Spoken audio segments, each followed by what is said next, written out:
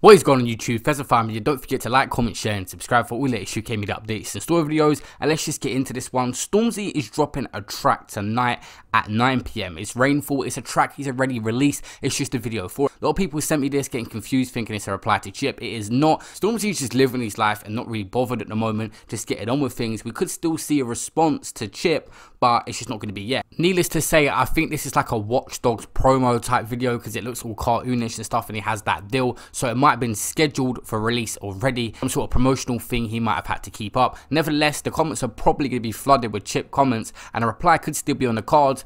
But Stormzy just left it way too long now. So like I said in my last video, it's probably going to be one of them things where he sends subliminals on a normal track, not a direct whole song going at chip.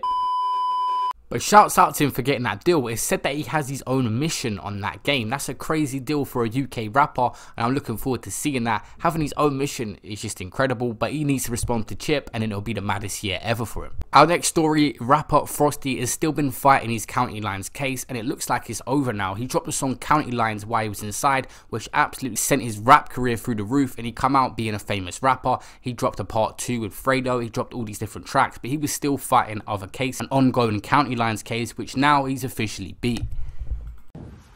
Fresh, fresh, fresh. Fresh, fresh, fresh. Le Frost. This guy's been killing it ever since he's been back, and this is good news because you don't truly see a rapper at his best until he's got rid of all his ongoing cases. It's huge pressure of fighting these cases, it's like an ongoing battle and it can tire you out, but now we will see Frosty at his best and hopefully some new music soon. Our next story guys, Headie One is getting closer and closer to that number one spot with his song with Stormzy and AJ Tracey, Ain't it different? Go and support him. It's good to see the UK rappers doing well. With the recent album push with D Block Europe and Headie One both getting number one and getting number two, it's good to see. But the number one single is what we need next. Go push that Headie One song. As who do you want to see on the story next? Headie One or Meekz Manny? Meekz Manny is going to be like a little collaborative story with someone else. It's going to be a very special episode. So comment who you want to see out of them two. That will be comment on Friday. But I may also put Sync up on the community tab like a little voting system so you guys can pick also. What's going on in Nigeria right now is absolutely crazy. A lot of the posts are getting censored. One of mine got attacked on Instagram saying it was false information on what I shared. It's crazy over there right now. There was allegedly people sent to Burna Boy's house. See, they've climbed into Igalo's house. See, they've climbed into Igalo's Look at house. there's one person at Igalo's house already right See, now.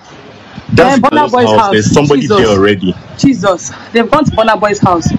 Jesus, they're on Oh our fence. God. This is alleged, of course, but Burna Boy is one of the people that's speaking out about the situation at the moment. I made a video about this yesterday, so go and support that video right now. It didn't get as much views as I thought it was going to, but go and support that video right now if you want to know my thoughts on the situation. Like this video, and I'll see you in my next one. Peace out.